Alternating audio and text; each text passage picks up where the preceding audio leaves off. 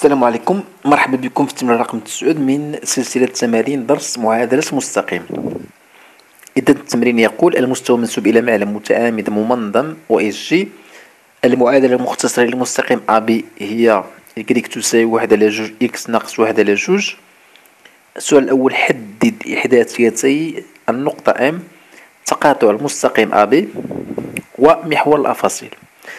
السؤال الثاني حدد إحداثيتي النقطة N تقاطع المستقيم AB ومحور الأراتيب إذا أولا خصني نعرف معادلة محور الأفاصيل ومحور الأراتيب نبداو بمحور الأفاصيل.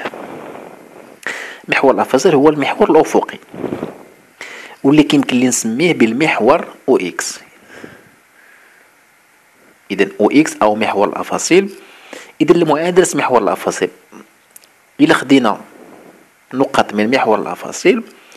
إذا هاد النقط دائما كنلقاو الأفصول ديالها متغير مثلا هنا الأفصول جوج والأرتوب صفر. نقطة مثلا هنا الأفصول ستة والأرتوب صفر. نقطة مثلا هنا الأفصول ناقص خمسة والأرتوب صفر. إذا دائما الأرتوب لا يتغير. إذا معادلة محور الأفاصيل هي إكريك كتساوي صفر. ماشي x كتساوي صفر. إكريك كتساوي صفر لأن إك لأن x كتكون متغيرة وبالتالي إكريك اللي كتكون دائما منعدمة إذا جميع النقط التي تنتمي إلى محور الأفاصيل أفاصيلها أو أراتيبها منعدمة. إذا المعادلة ديال أو إكس اللي هو محور الأفاصيل إكريك كتساوي صفر. دابا محور الأراتب محور الأراتب إلا خدينا نقط على محور الأراتب كنلقى الأفصول هو اللي منعدم والأرتب متغير. إذا هنا مثلا هاد النقطة إحداثيات ديالها صفر أربعة. النقطة مثلا هنا ناقص اثنان أو صفر ناقص اثنان. وهكذا. إذا دائما الأفصول منعدم والأرتوب متغير. إذا محور الأراتيب كنرمز له بالرمز أو إكريك إذا أو علاش أو إكريك إذا المعادلة ديالو هي x تساوي صفر. إذا دائما محور الأراتيب المعادلة ديالو x تساوي صفر ومحور الأفاصيل المعادلة ديالو إكريك تساوي صفر. إذا نحدو نقطة التقاطع اللي هي النقطة إم نقطة التقاطع المستقيم أ بي ومحور الأفاصيل اللي المعادلة ديالو إكريك كتساوي صفر. إذا ما معنى نقطة التقاطع يعني إلا خدينا واحد محور الأفاصيل خدينا واحد المستقيم هنا فخصنا نحددو الإحداثيات ديال هاد النقطة التقاطع. إذا نقطة التقاطع يعني أن النقطة كتنتمي للمستقيم AB وكتنتمي للمستقيم Ox يعني كتنتمي ليهم بجوج. إذا لدينا M تنتمي إلى Ox أي إلى محور الأفاصيل. ما معنى هذا؟ يعني أن أن M تحقق محور يعني أن إحداثية M تحقق محور الأفاصيل. إذا محور الأفاصيل المعادلة ديالو إكريك كتساوي صفر. إذا أي أن إكريك أم تساوي صفر. إذا M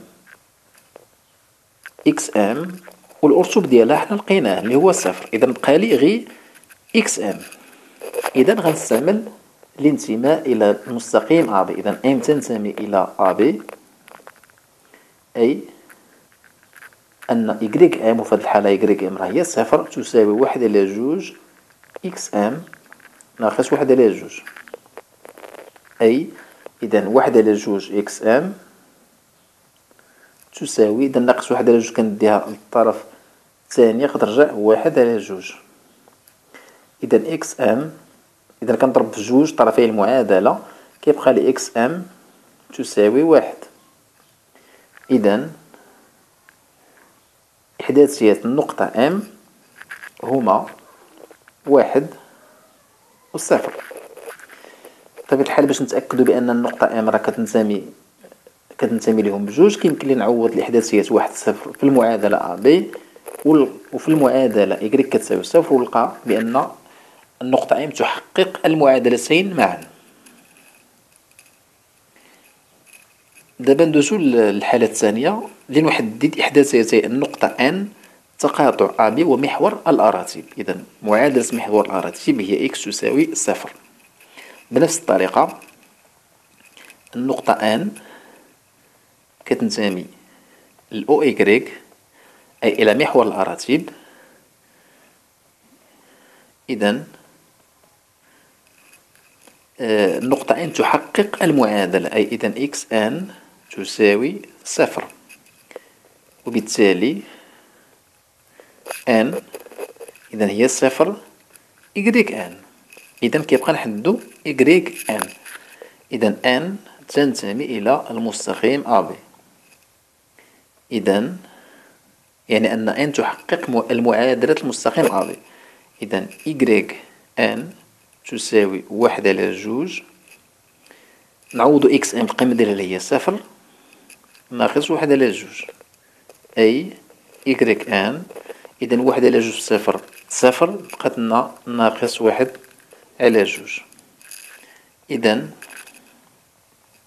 الإحداثيات ديال النقطة ان هما صفر وناقص واحد على جوج